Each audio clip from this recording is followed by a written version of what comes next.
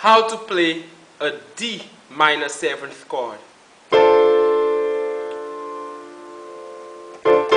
First finger plays D, second finger F, third finger A, fifth finger C,